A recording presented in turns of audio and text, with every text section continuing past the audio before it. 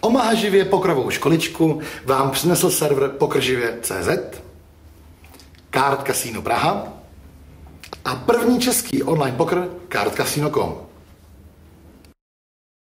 Přátelé, víme všichni, že těch výukových videí na téma uh, hodem je všude prostě strašně moc. My jsme se rozhodli, že vám na pokrživě přiblížíme fenomén těchto měsíců, a to Omahu. Stejně všichni žijete, ji hrajete, ale vlastně o ní pořádně nic nevíte. My jsme si do naší školy Omahy, mohli to tak nazývat, pozvali momentálně asi dva největší omahové fenomény u nás. Marka Čulibrka Stabaňáka, nemám tu frázi dát, a já si nemyslím představovat. Všichni víme. Díky, Pavle. Prosím, Patrik Pilník Pilman, to je takový fenomén posledních týdnů, my jsme tak jako přemýšleli, koho sem přizveme jako dalšího po mně a po Markovi odborníka na Omahu. A když jsme viděli ty výsledky toho skopu, říká se tomu skopu, nebo to je skup? Skup. Prostě pilník řádí na skupu jako černá ruka. Právě v té Omaze pilníku nějaký dva finální story tam proběhly, viď? No, No, tak se pochopil, si vyhrál peněz, teď vidí ostatní. no, celkem to bylo necelých 14. No, raketa prostě, raketa. Takže sledujte naši školu Omahy, určitě se budete uh, mít co přiučit. A my to nebudeme zdržovat a hned si řekneme, jaký jsou vlastně základní rozdíly mezi vaší milovanou hrou Texas Hold'em a Omahou. Kluci, představme si, jako, že jsem teda jako vyhraný, zkušený hráč jako Hold'emu, zaujal mě, že už kamarádi hrajou Omahu. A co bych se vlastně jako prvně měl, měl by se dovědět o rozdílech mezi Omahou a Hold'emem? Tak Omaha je jako ve, ve finále je to to samý jako Texas Hold'em. E, Platí úplně stejné kombinace karetní, nic e, se nemění, jako flash najednou není víc než e, Trips platí pořád. Trips prostě pořád platí, ale velký rozdíl tam máme v tom, že používáme, že na ruku dostaneme čtyři karty, ale z těch čtyřech karet vždycky si musíme vybrat dvě karty. To znamená, že nikdy, nikdy na rozdíl od Texas Hold'emu nemůžeme použít pouze jednu kartu. Takový klasický modelový nejjednodušší příklad, kde, kde bych to uvedl, jako aby to pochopil uh, většina lidí, tak je, je třeba, dejme tomu, v Texas Hold'emu vám dojdou čtyři, uh, čtyři kříže na board a vy máte to ESO křížový, jako, takže máte uh, nad Nad slash. Jo, nic už vás neporáží, ně, ně, e, máte nás. E, když to v, v té omaze, e, když vám dojdou čtyři, čtyři kříže na board, vy máte to ESO křížové a k tomu už nedržíte žádnou kříži, žádnou flash ne, nemáte, protože musíte vytáhnout ESO křížové a ještě jednu kartu, kterou musíte e, doložit do tří ka- karet e, z boardu.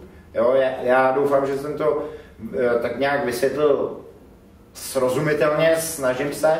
E, ještě jeden modelový příklad bych e, uvedl. E, přijde, dejme tomu, přijdou dvě desítky, dvě sedmičky na board a dejme tomu ESO.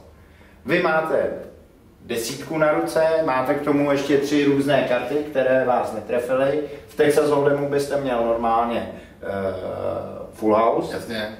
ale v Omaze v tuhle chvíli máte pouze set.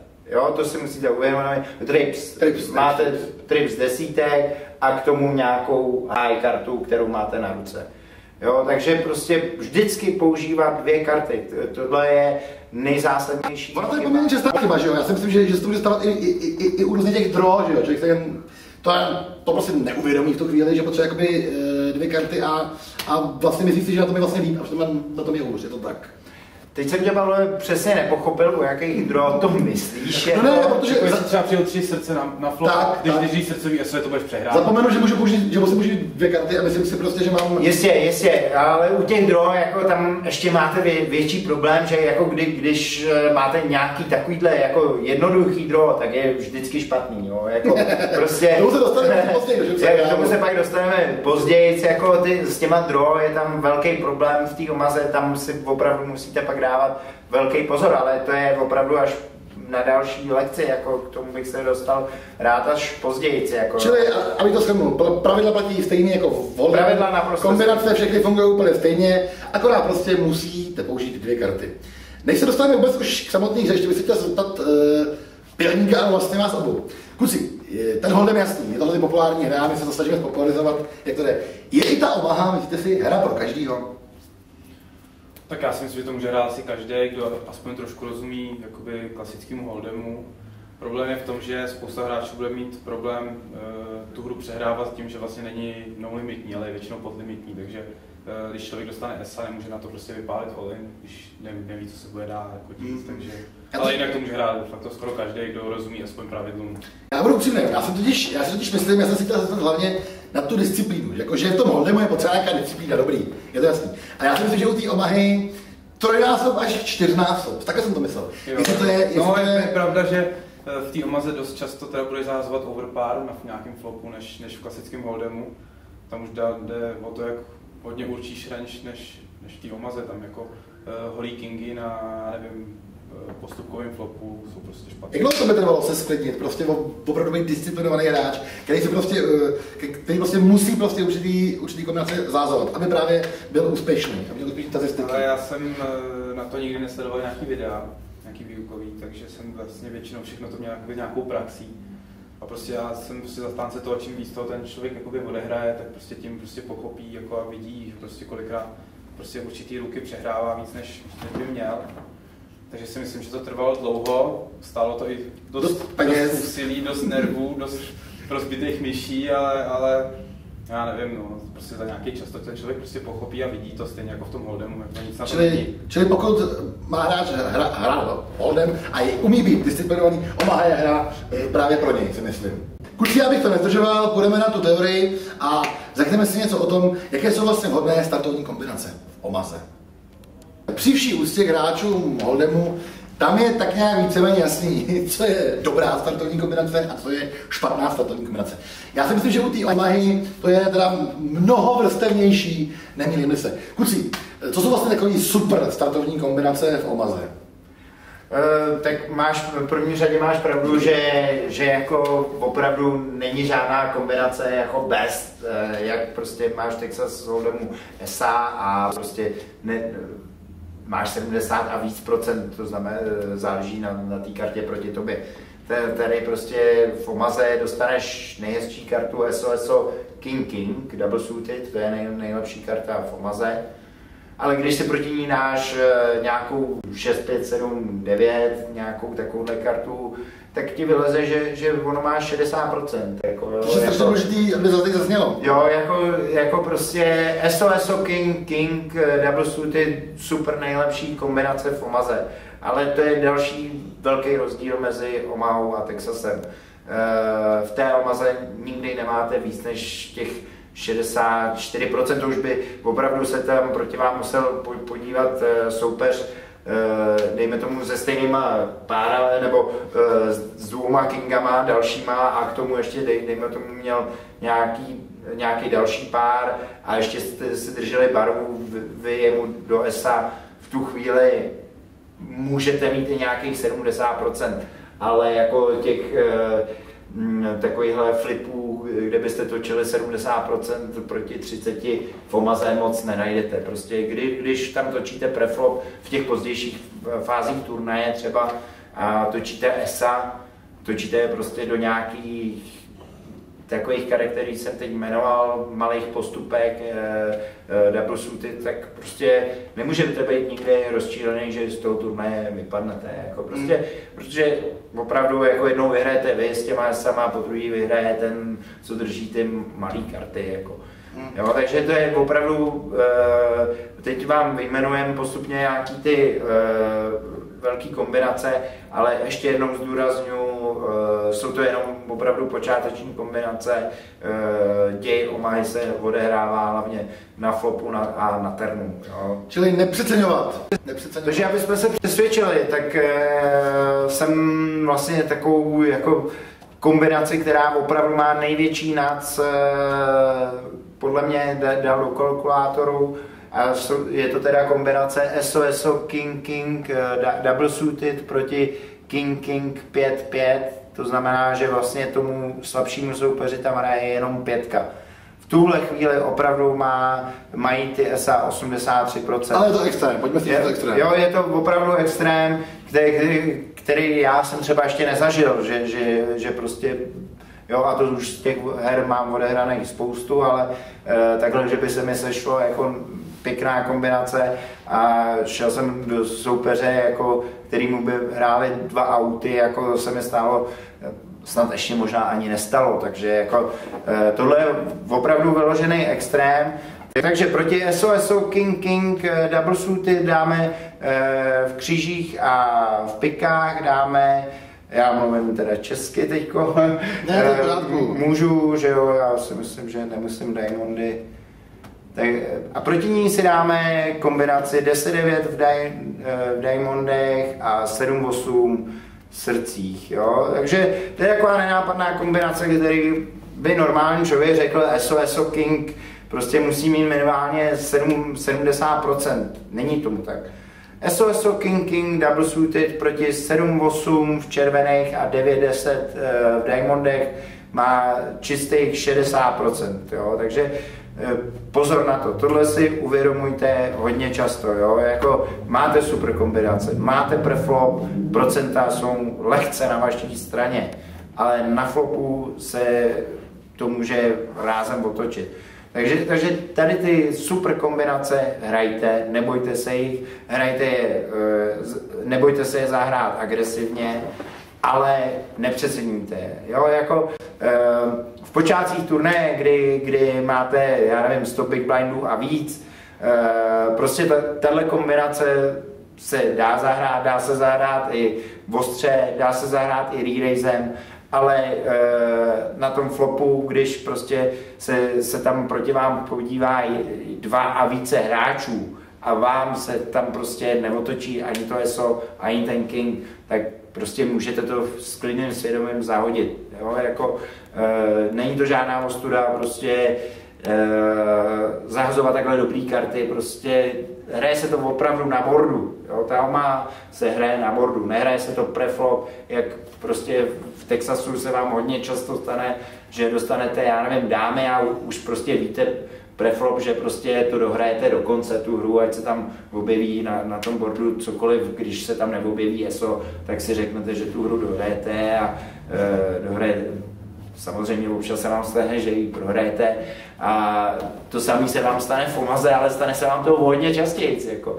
Takže, takže prostě opatrně na tyhle kombinace, nebo opatrně, hrajte agresivně, ale přemýšlejte. Pořád u toho přemýšlejte, nikdy hra není vyhraná prefo. Tak bych tě zajímalo, Pelníku, proč je tak strašně důležitý furt slyším double suity, furt slyším double suity. Jak je strašně důležitý prostě uh, a podstatný, pokud držíme prostě dvě karty jedné barvy a dvě karty druhé barvy. Proč je tak strašně důležitý a proč je tak strašně výhodný uh, právě to double suited? Tak zase, zase opatrně uh, s tím, že jako ne každá karta double suited je prostě dobrá. Tam se jako like, jde o, to, jde o to prostě, pokud držíme kartu double suited a máme v tom teda ESO a Kinga, dejme tomu, tak eh, se to dá hrát na ty barvy, ale jestli držíme právě, jak říkal Mára, třeba dejme tomu 4, 5, 6, 7 double suited, je sice hezký, že máme double suited kartu, ale s touhletou handou konkrétně hrajeme spíš ty postupky, jo? Mm-hmm. protože otočí se nám flash draw flop a prostě hrajeme to z 6 high flash draw, což jako i holdemoví hráči teda chápou, že to není úplně dobrý. Takže jde o to, jestli máme double suited teda vysoké karty nebo nízké, protože některé teda karty jsou jako, ta karta je hodně draw, ale uh, jsou postupkový a jsou teda jako uh, suited. Ještě bych tohle skočil prvníkovi trošku do řeči, tam hodně záleží, kolik hráčů se dostane na ten board. Jako, jo? Jako, uh, samozřejmě, když se dostanete do headzapu jako, uh, s nějakou flash draw a otočí se vám ta, ta flash draw, tak jako dá se to zahrát tak, uh, i těma rejzama zjistit vlastně, jak jste na tom. Jako, když, to, kdy, když se podíváte za nějakou takovouhle flash draw jako do šestky eh, a budou tam tři, čtyři hráči, někdo betuje, tak úplně s, klidně, s klidným svědomím můžete zahodit jako, no. a nemusíte se vůbec ztrátit. To je přesně ono, no. Prostě jsou karty na postupku a jsou karty na barvu. Jako, okay. Takže s těma malýma prostě spíš hledat postup Čili než barvu. Opět už se po druhé o vyjmenovávání výhodných těch dostáváme k tomu nepřeceňovat. V Omaze jsou i dobré kombinace typu 6-7, 5-4 double suited, eh, přičemž, jak už jsme se bavili, tady ta barva tam hraje vedlejší roli. Eh, v, tě, v tyhle menší kombinace mají tu výhodu eh, v tom, že prostě vy máte úplně stejnou šanci, že, že ten borce vám tam otočí malý nebo velký. Jo? Takže když třeba někdo má eh, v Omaze si zvyknul hrát jenom s dobrýma high kartama, pěknýma obrázkovýma kartama, tak eh, samozřejmě ty soupeři to časem přečtou a uh, už je znevýhodněn uh, dodá jako v jeho range, jo, jako uh, ta range je pak uh, krásně čitelná, jo, když někdo opravdu hraje jenom tady ty nac kombinace. Ale i dobrý právě kombinace jsou tady ty spodní, spodní draw karty, který, který, uh, který, jak už jsme si ukázali na kalkulátoru, tak který prostě ve finále mají nějakých 55% proti SU, tak proč to mnoho nevyužít? Jo? Další výhodou těchto těch menších kombinací je přesně to, že eh, v těch pozdějších fázích turnaje nebo i na začátku, eh, když vy si je rejznete a eh, někdo má ESA, většinou neodolá a re vás. Jako.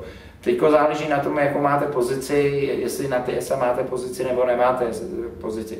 Když máte pozici s takovýma kartama, tak se je možné doplácet i ty re protože e, pak se stávají hodně často to, že prostě ty ESA na nějakém takovémhle malém bordu vás nepřečtou, si řeknou, že jsou bezeční a uh, uvážou se tam celým bankem. Vy v tu chvíli vy, vyhrajete celý bank. Jo. Jako, ale říkám, uh, je to pořád počáteční kombinace. Uh, ale z mýho pohledu tyhle spodní kombinace v žádném případě by se preflop zahazovat ne, neměly už jenom kvůli té vaší range.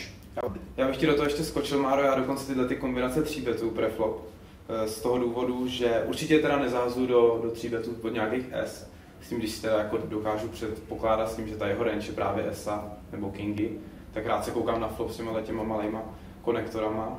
A 3 betuju z toho důvodu, že vlastně eh, soupeř často na ten 3 bet právě vidí v tom ty ESA nebo ty vysoké karty a, a s těma těma kartama se dá vyloženě asi nejlépe steknout prostě e, jako celýho, celýho hráče, takže vyloženě opravdu dobrá karta, tady ty, tady ty malý konektory na ty postupky, na ty dva páry a tak dále. Která je hodně opomíná. Ale, ale pozor, musíte teda jako mít super odhad na range. Jo, přesně, přesně. Jo, to, to zase jako opatrně, protože uh, už to jako, tady, jako tříbe tady s těma kartama používá asi už hodně hráčů, ale není to teda jako asi úplně ojedinělý, takže takže kolikrát se bije, bije, bijou jedny draw karty do druhé. Už to není prostě jako škrtnout zpátky, když jste začínali. Že, že přesně, že, že když jste dostali rýbe, tak pán měl lesa. Přesně, když jsme začali před těma čtyřma lety, to bylo o tom, že vloženě každý hrál to, to stejný a, a když někdo zahrál něco jiného, tak to, tak to, to dostal hned vynadáno.